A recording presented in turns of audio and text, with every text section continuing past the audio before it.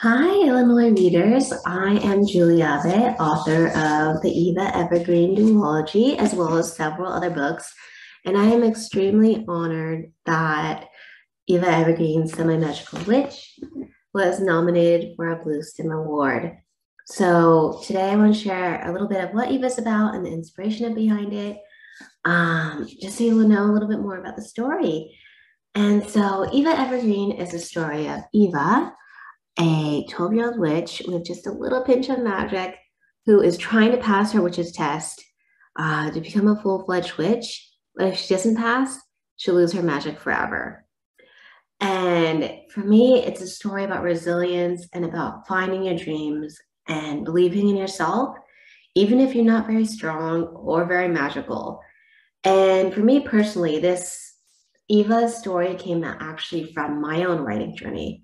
Eva was the very first book I published, and it took me a lot of books to get to where Eva is. I wrote not one, not two, not three, but I wrote 12 different books trying to get to become published and become an author. And having that journey, it filled me with a lot of doubts. I didn't think that I could write. I didn't think that I knew how to make make a story happen. Um, but over time, and like Eva, I learned how to believe more in myself. And finally, I got to have my very first, very, very first book published.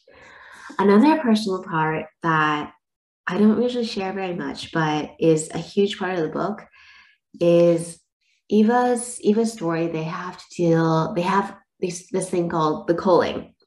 And it's this strange twist of nature where there's a sudden earthquake or a sudden ice storm during a summer day, and it happens out of nowhere. Um, and for me, this came out of a personal experience when I was living in Japan. And I was by the seaside in the morning, heading back to Tokyo. And I was on the train with my grandmother, my mother, and the train started rocking. And I thought the train was derailing because all I felt was a train moving side to side. But when I looked out the window and as the train stopped, everything was moving. And it turned out I was in the Great Tohoku earthquake, which was the 9.0 earthquake off the coast of Japan.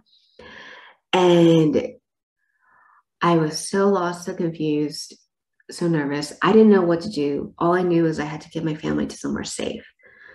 So I took my grandma by the hand, I took my mom by the hand, and guided them using my cell phone to a friend's house where we were able to stay the night safely um, and finally make our way back home the next day.